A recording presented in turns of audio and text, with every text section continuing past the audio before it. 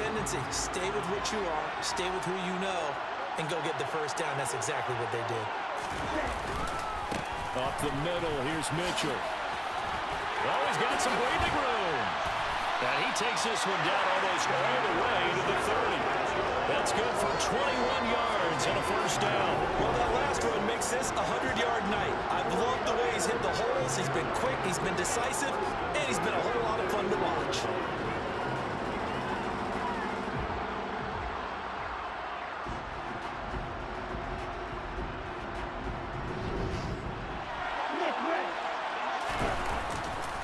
Right back to Mitchell here. And some room to run now. And he gets this one inside the 15, just a yard or two shy of the 10. 51 yards rushing for him now in the first half of this Super Bowl. They're making it look easy out there. Another first down. So, so far on this drive, let me do this little bit of math here. Four plays, three first downs. That's a pretty good recipe for success.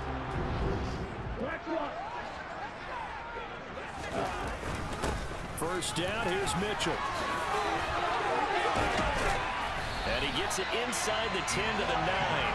45 yards rushing for him now on the opening drive of this NFC title game. Just a terrific run there, Charles, from a running back who is so compact and powerful, and that strength was on display there. Yeah, this could be a sign of what this defense is in for because you know all week long the coaches were preaching to the defense.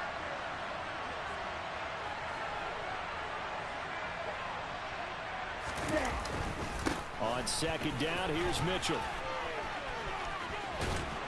On a determined run there as he's going to take this all the way down near the 40.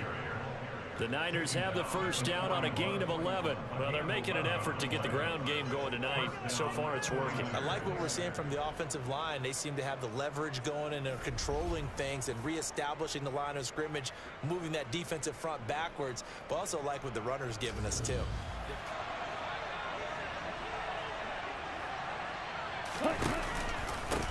First down, here's Mitchell.